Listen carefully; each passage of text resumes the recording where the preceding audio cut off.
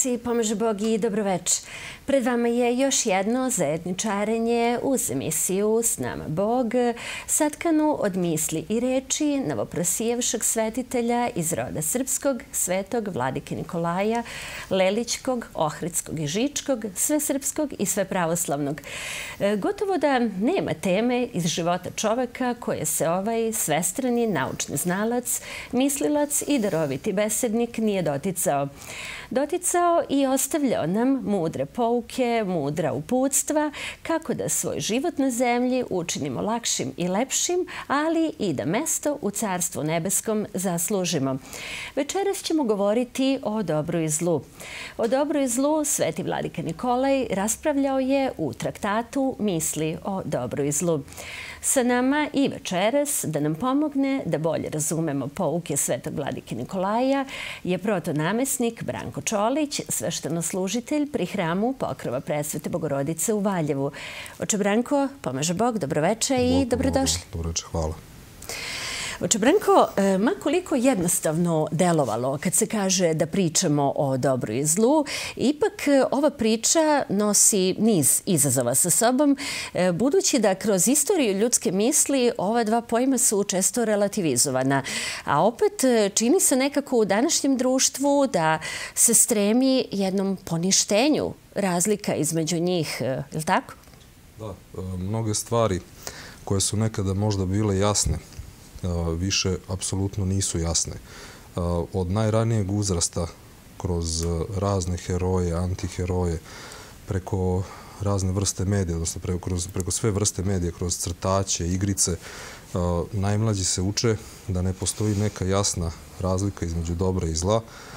Verovatno se spremaju za život u kome će možda nešto moći i da im se nametne kao dobro ili uopšte kao, kao nešto što ne mora da bude ni ovako ni onako. Do skora su mnoge stvari smatrane za nešto što ne pripada ljudskoj prirodi, a od skora, od pre možda nekih deseta godina ili više, se svode pod varijatete ljudske prirode. Upravo stavljajući čoveku da čoveku sve zaista priliči, ali ipak apostol Pavle kaže sve mogu, ali mi nije sve na korist. Tako da mi koji smo hrišćani ipak moramo imati svest o tome šta zaista jeste dobro, a šta je zlo. S tim što uvek moramo znati da zlo ne postoji samo za sebe. Dakle, dakle zlo nije suština, jer sve nije priroda. Jer sve što je Bog stvorio zaista bi dobro veoma, a to što se pretvara u zlo i to što se čini zlo je stvar ličnog izbora i ničega drugog. Antički filozof eh, sofist Protagora iz petog veka pre Hrista kaže čovek je mera svih stvari, onih koje jesu da jesu, a onih koje nisu da nisu. E, ovo antropocentrično gledište živelo je kroz istoriju ljudske misli, e, podražavali su ga mnogi mislioci, unapređivali, razvijali i tome slično. Iako se umeđu vremenu dogodilo ovo ploćenje Božije, e, kada govorimo o vladici Nikolaju, za njega je mera svih stvari bogočovek, bogočovek Hristos. Da, ne samo za svetog vladiku Nikolaja, nego za svakog hrišćanina. Jer ako bi mera svih stvari bio čovek, onda zaista ne bismo daleko odmakli. Bili bismo svedeni na ovu zemaljsku ravan, gde opet malo pre što rekao smo sve priliči i sve ne priliči čoveku, a ne bismo mogli da probijemo onu ovu našu granicu Dakle, ne bismo mogli da probijemo naše moći, ovo postojanje koje imamo i da činimo ono što su mnogi i činili. Dakle, ni umetnost, ni kultura možda ne bi bila ovakve kada bi sve se svodilo na to da je mera svega čoveka. Ali kako je se Hristos oplotio, kako je postao čovek, postajući savršeni Bog i savršeni čovek, mera svega nama jeste Hristos. Hristos je rekao budite savršeni kao što je savršen Otac vaš nebeski i to je mera koju nikada ne možemo postići, ali svetitelji su nam mnogi pokazali, među njima i sveti vladika Nikolaj, da je mera uzrastanja i usavršavanja zaista bezgranična. A svaki čovek, ako bude merio sve ono što misli, što govori i što radi Bogo čovekom Hristom, Dakle, šta bi Hristos učinio u takvoj situaciji, nikada neće pogrešiti. I nikada neće dovesti ni sebe, ni svoju okolinu da ispašta. E, ono gde vidimo kod Svetog vladike Nikolaja, konkretno u ovom traktatu misli o dobru i zlu, e, vidimo tu neku, aj, možemo reći, relativizaciju dobitka. E, kad kaže nešto je dobitak izbliza, nešto je iz daleka. Jedini dobitak i izbliza i iz daleka, tako reći, apsolutni dobitak je dobitak Boga čoveku. Da, dobitak sa Bogom. Ovaj, ljudi često su skloni da govore da nekada treba učiniti nešto loše zarad nekog dobra koje će biti u budućnosti. I to zaista nije ništa drugo nego sam nekakav pakt sa džavolom. A narod je kroz svoju mudrost objasnio i to izuzetno dobro da sa džavolom nikada nikakav dogovor se ne može praviti. Dakle, malo pre rekao smo da je merilo, merilo svega Bogo čovek Hristos i ako njime merimo, svaki dobitak sada bit će dobitak i kasnije. I svaki gubitak sada bit će opet dobitak kasnije. Dakle, sa Bogom, odnosno sa Hristom, nikada čovek ne može izgubiti. Čak i žrtva koja se podnese, ona uvek da mnogo više ploda nego da je čovek išao linijom manjeg otpora. Takođe, na jednom mestu vladika Nikolaj kaže da su i raj i pakao izuzetno važni zbog za čoveka. Jer e, pakao je zaslužan zato što su se mnogi pokajali. Dakle, shvatili su ljudi kakav život može biti bez Boga, koliko god to nešto sada slatko izgledalo ili privlačno, ali ono gde je krajnji cilj, odnosno gde se na kraju stiže je zaista velika muka i velika patnja i nije dobro za čoveka. Pa su se vratili Bogu, a raj još više jer su shvatili koliko je još veća lepota i koliko je to u stvari pravi život kada je čovek sa Bogom, odnosno kada ceo svoj život gleda kroz prizmu Boga čoveka. Sveti vladika Nikolaj kaže zločin je slabost, a ne snaga i zločinnost je slabić, a ne junak. E, psiholozi kažu da agresivnost i uopšte zlo koje izađe iz toga, dakle ono što čovek učini prema drugome loše je u, stvar nemoć, je u stvari samo pokazivanje nemoći čoveka. Jer e, jačina čoveka je da bude čovek, znači čovečan, a ne da pobeđuje nekoga ili da čini zlo nekome. Dakle, opet, kada meri sve kroz Bogočoveka Hrista i kada shvati da jedini način na koji će zadržati svoje dostojanstvo jeste da učini ono što je dobro. Dakle, da učini ono što bi i Hristos učinio. Sve drugo, čovek je na gubitku. E, svako je imao neku situaciju e, da je bio možda izazvan sa, od nekoga da nešto loše kaže ili nešto loše da uradi. I možda u tom trenutku e, kada se to loše delo ostvarivalo, bilo da je reč, bilo šta drugo da je, ovaj, možda i osetio trenutak nekog zadovoljstva. Ali šta je posle sledilo? Ispraznost, taština. I zaista tu se ispunjuju reči premudrog Solomona koji kaže taština na taštinama, sve je taština. Ovaj, a isto trebamo se setiti i njegovih reči kada kaže a, ako nahradnite neprijatelja i ako ga napojite, to je gore nego da mu sipate na glavu živo ugljeblje. Dakle, pokazujete da ste čovek, u ovom slučaju mi bismo trebali da pokazujemo da smo hrišćani i da sve merimo Bogo čovekom Hristom, da nahranimo i da napojimo i da oprostimo i da okrenemo drugi obraz i samo tako i na taj način pokazujemo da smo zaista čovek, što će reći onaj koji je okrenut čelom ka večnosti. Dakle, onaj koji stalno gleda u Boga, misli Bogom, tvori Bogom i delo Boga. To danas zaista nije lako, imajući u vidu jedno medijsko promovisanje raznoraznih antiheroja, je li tako, u svim oblastima. Naprosto ova maksima je, čini se, nikad, nikad nije bila na tako teškom izazovu kao da, danas. Savremeni čovek kao da ima poremećaj opažanja. Mnoge stvari se stavljaju pred čoveka i zaokupljaju ga u stvari da bi bilo ono što ima jedna engleska izreka koja kaže da se od drveta ne vidi šuma.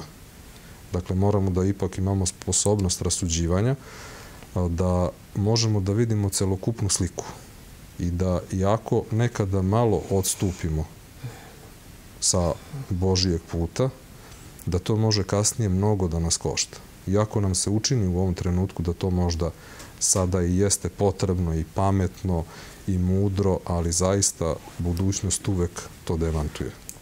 Dakle, čovek jedino što treba sada da, da čini jeste da sluša ono što je Hristos u svom evanđelju rekao. Dakle, da ljubimo gospoda Boga i da ljubimo jedni druge. I da kroz to merimo svake, svaki svoj postupak i misao i reč. Evo ovako šetajući kroz traktat misli o dobro i zlu, dolazimo do vladičinog rasuđivanja o istini. Šta on kaže? Vladika Nikolaj kaže da istina nikada ne sme da se zloupotrebi. Dakle, ne sme da bude upotrebljena kao oružje, jer onda je nećemo nikada ni dobiti. Ona će nam, kaže, bacati kosku. Mi ćemo ići za tom koskom, ali će ona biti sakrivena iza tri zida i nećemo moći da je vidimo. Tek kako je budemo sa ljubavlju tražili, ona će nam, kako vladika kaže, doneti veliki miraz sa sobom, ali nama taj miraz uopšte neće biti potrebna, jer će nam istina biti dovoljna. I tek kada spoznamo istinu, onda ćemo i postići mir. A, a opet ovo sigurno je proisteklo iz uh, vladikinog života i iz njegovog poznavanja nauke Hristove svetog evanđelja. Dakle, Hristos i kaže, ja sam put, istina i život. Znači, ljubavlju spoznajemo istinu, odnosno ljubavlju spoznajemo Hrista. I onda dobijamo zadovoljenje i ispunjenje svega onoga što nam je potrebno i za ovaj i za večni život. Malo pre ste rekli da biramo da živimo sa Bogom. Vladika Nikolaj kaže da se svaki čovek u nekim trenucima seti Boga. Pre ili kasnije, kada ti trenuci dođu. Kad je to? Kako on to objašnjava? Sećamo se Boga najčešće kada dođemo u neku nevolju. E, ako vidimo da neko strada, pravedno da strada, pogotovo zbog nas, ako se to desi. I naj, najveći trenutak i najjači trenutak posle kog, nažalost, odnosno, zna Bog zašto je to tako, nemamo svedoka, jeste kada umire čovek. Da se seti, da se tada najviše seća Boga. U, u pastirskoj službi sveštenici se često sreću sa tim kada je neko teško oboleo, kada trpi bolove, pa i ona neizvesnost koja ga čeka. I tada i oni koji su možda bili najtvrđi i koji su bili i najdrskiji u životu, u svom okruženju, sete se. Jer shvate šta je čovek, da je čovek prah, da je travka jedna koju vetar nosi tamo ili ovamo. I tada se seti Boga. Jer jedini pravi život za čoveka jeste onaj sa Bogom. Dakle, kada gradimo sa svoj identitet u odnosu na Boga. Jer svedoci smo da u našoj ne, da, ne tako davnoj istoriji su ljudi često svoj identitet gradili u odnosu na, nekak, na ličnosti nekakvih lidera ili ideologija ili partija ili čak i sportskih klubova i šta se dešavalo. Sve to je dovodilo do, na kraju krajeva do razočarenja, jer to nema nikakvu stabilnost. A ako čovek gradi sebe u odnosu na Boga, Bog je jedini stabilan, koji jedini zaista postoji i onda čovek ne može da se razočara i kada čovek postane toga svestena u tim trenucima i postane, onda i zavapi Bogu i prizna Boga. Kad ste pomenuli e, period iza nas i e, lidere koji su e, bili svojevrsne jel, božanstva, razume se pod velikim navodnicima, Moje sledeće pitanje se naslanja upravo na ovo o čemu ste sada govorili. Naime, e, kroz istoriju imamo mnogo teorija o egalitarnom društvu. Dakle, mnogo tih e, e, naučnika koji su govorili o jednakosti ljudi, misleći, razume se, pre svega na ekonomsku jednakost kao nekom idealu društvenog, društvenom. Kada vladika Nikolaj govori o jednakosti, on govori nešto drugačije, je li tako? Pa on govori nešto drugačije u odnosu na te sve teorije, društvene teorije ili uređenja koje su bila, ali govori apsolutno naslonjen na evanđelje Hristovo. U evanđelju postoji čuvena priča o talentima, koju svako od nas zna. I kaže se da Bog daje različit broj talanata svojim slugama. Znači nekome više, nekome manje, dajući svakome prema njegovoj moći i prema sposobnosti. Tu već dolazi se do toga da nema jednakosti. Jer očigledno neko ne može da podnese pet talanata, a opet nekome bi bilo to premalo. Pa bi možda i odsustvo tog tereta ga odvelo ko zna gde. E, želeći da zarobe ljude, znači želeći da ih privuku sebi i da ovaj, e, prosto da, da budu ljudi spremni da učine sve za njih. E, izmišljena je ta jednakost. E, mi bismo trebali svi da budemo pred zakonom ravnopravni, ali jednaki ne možemo nikada biti. Jer gde je jednakost, tu nema ljubavi. To i sveti vladika Nikolaj kaže. Dakle, Bog nije Bog jednakosti, nego je Bog ljubavi. Ako postoji jednakost, onda se ukida ljubav. Dakle, ljubav je ono što treba da bude među, u međuljudskim odnosima. Dakle, prihvatati čoveka onakvim kakav jeste, jer neko jeste prijatne spoljašnosti, a neko nije. Neko je zdrav, a neko je bolestan. Neko je obrazovan, neko je neobrazovan. Na kraju krajeva neko je inteligentan, ali neko i nije. Prosto svako je sa različitim darovima, svako je sa različitom genetikom došao na ovaj svet i da li sada treba čoveka prihvatati ili ne. Dakle, svakog čoveka treba zavoliti i prihvatiti ga onakvim kakav jeste. A svaki čovek treba da se potrudi da to što mu je dato i zadato umnoši i da dođe do toga da kada stane pred Boga da kaže, da mu Bog kaže dobri i vredni slugo. Dakle, prepoznao si svoje darove, prepoznao si svoje talente, umnožio si ih, pa kakvi god da jesu. Vladika Nikolaj kaže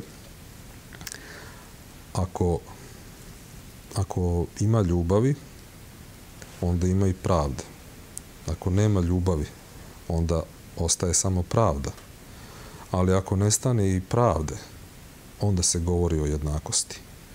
A tu tek ne može biti jednakosti, jer ako nema ljubavi i ako nema pravde među ljudskim odnosima, kako može biti jednakosti? E, vladavina koga nad kim i u ime čega može da bude.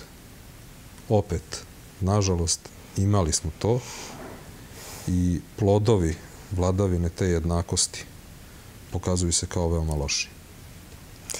E, došli smo do ljubavi, razume se, nezaobilaznoj temi. Ovoga puta ćemo se samo osvrnuti e, konkretno na ono što u traktatu Misli o dobro i zlu Vladika piše. U narednim izdanjima svakako će biti više reči o tome. Dakle, da proširimo malo ovu definiciju. Šta još Vladika o ljubavi kaže?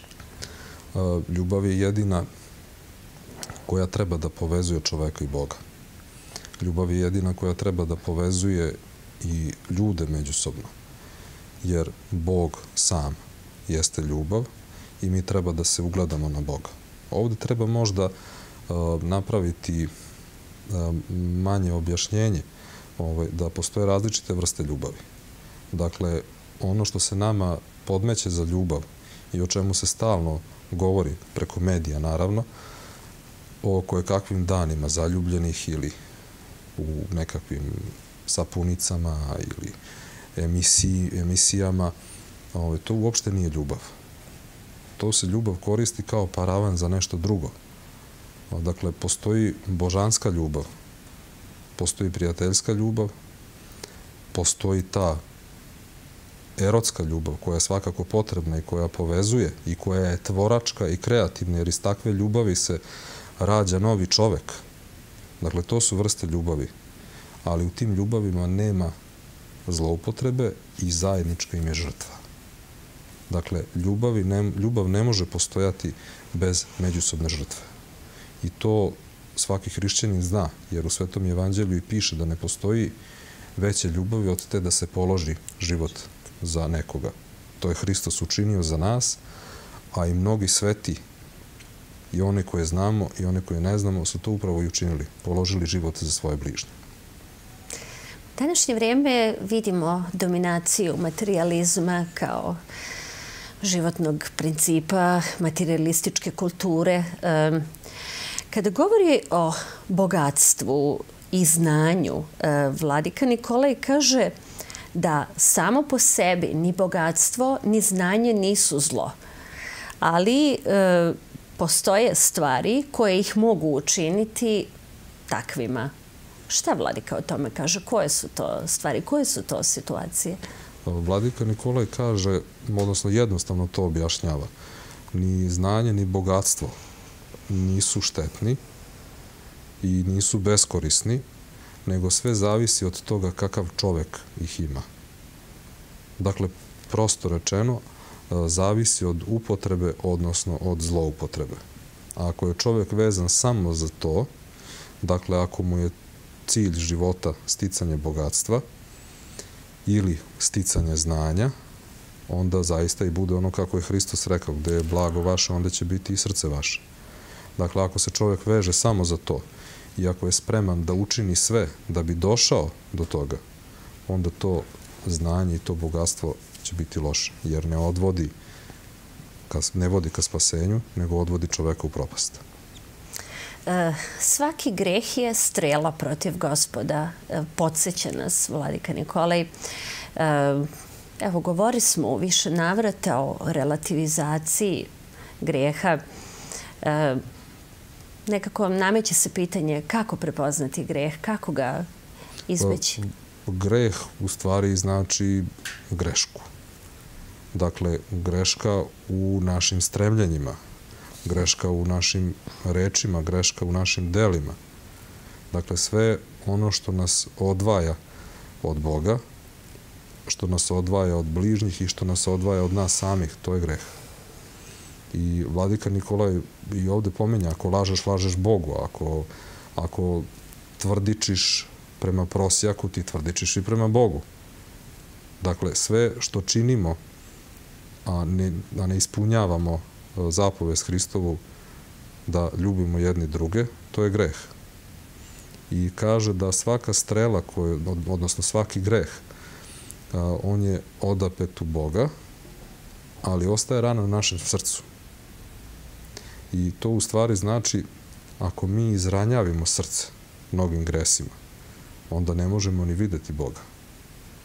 Jer je srce izranavljeno, ne može da rasudi, ne može da dođe do Boga i da je mnogo teško izvaditi tu strelu, strelu greha iz Boga.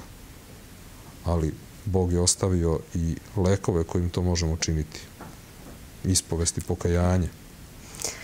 Onda i sveta Euharistija, sjedinjenje sa Bogom. Jedini pravi put. I o tome ćemo svakako još govoriti u nekom od narednih izdanja emisije S nama Bog.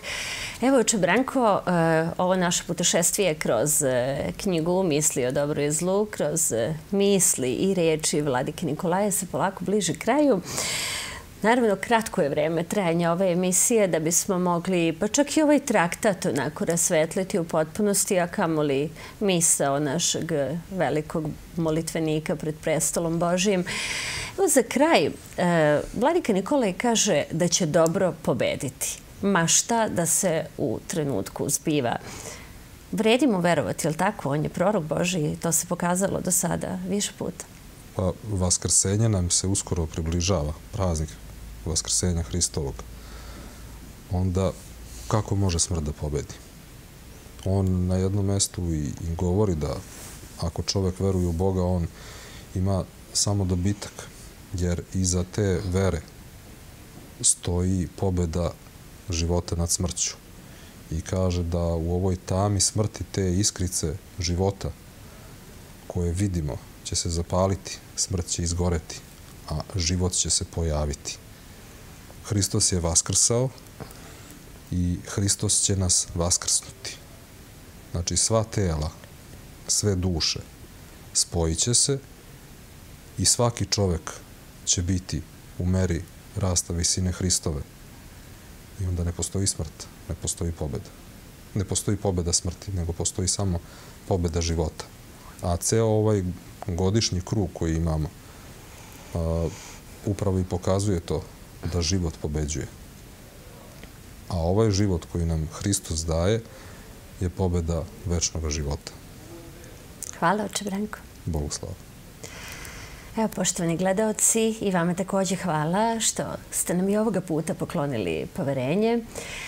S Bogom, laku noć i pratite nas i u buduće. Slavite Boga nebeskoga, amin.